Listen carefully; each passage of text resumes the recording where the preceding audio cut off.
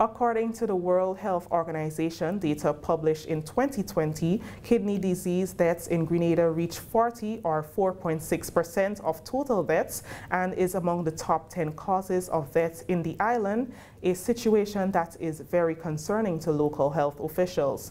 We get more in this report from the Ministry of Health.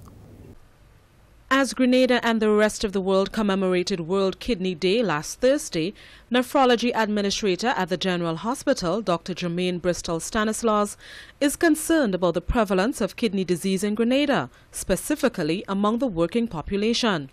Kidney disease means your kidneys are damaged and cannot filter blood the way they should. It can affect your body's ability to clean your blood, filter extra water out of your blood, and help control your blood pressure. You are at risk of developing chronic kidney disease if you have chronic diseases like diabetes, hypertension, cardiovascular disease, or other problems with the heart. There are other conditions that can also lead to kidney damage. There are many risk factors to getting kidney disease. One risk factor is just being black. So we as Grenadians, we need to be mindful of that. As you increase in age, you also increase the risk of developing kidney disease. Um, if you have a family member that has kidney disease, you are at an increased risk because there are inherited kidney diseases.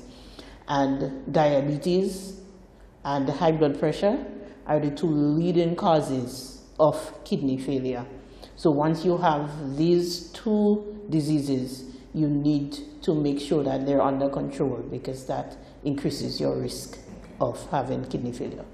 Dr. Bristol Stanislaus says looking at the growing numbers of people being diagnosed with kidney disease should be a wake-up call for all. Based on our statistics, the majority of our patients fall within the working age group, right? And we do have some very young patients as well, as young as early 20s who are currently on dialysis. So it's, it's actually quite alarming and it is important that we do our routine checks at least annually and for persons who are at increased risk, so those who would have had the risk factors that I would have listed, they should try to get their kidney functions tested at least twice a year.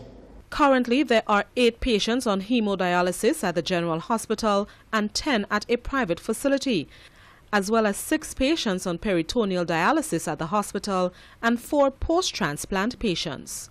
Outside of the persons who are currently on dialysis, we also have persons who have reached kidney failure who are currently not doing dialysis. So in terms of the number of persons having kidney disease, it is about 10% of our population based on world statistics. And in terms of persons having kidney failure, it is also a good percentage of our population. So it's very important that we pay attention to our kidneys. We have outpatient clinics in the General Hospital, we have two main outpatient clinics every week on Tuesday afternoons and Wednesday afternoons. And we also have separate outpatient clinics once a month for the patients on peritoneal dialysis and the patients who are post-transplant. We also conduct two clinics per month at the Princess Alice Hospital and one per quarter in Carriacou at the Hillsborough Health Center. An early diagnosis of kidney disease can be done through urine and blood tests. Dr. Bristol Stanislaus notes that it is important to get annual general medical checkups to monitor the function of the body's organs, even if you are feeling well.